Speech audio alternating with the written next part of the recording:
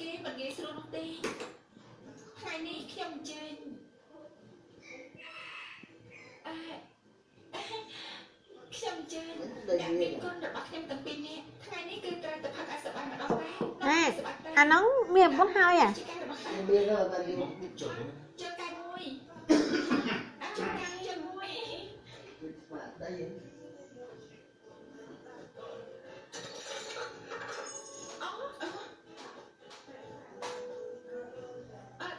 មិនមែនស្បែកជើងទឹកភ្លៀងទេ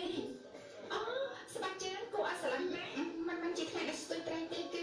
ជើងរបស់ខ្ញុំទៅទៅតែហើយឡើងគឺគេមិនថប់ពីស្បែកជើងស្បែកទេក្នុងផ្នែកមិនតែស្បែកជើងស្បែកតែប៉ុណ្ណោះ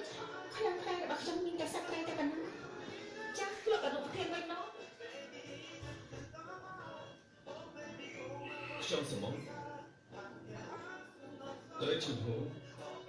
លេជាដើម ខ្ញុំអញ្ចឹងមកជាជួយចិត្តខ្ញុំលាអានខ្លាំងណាស់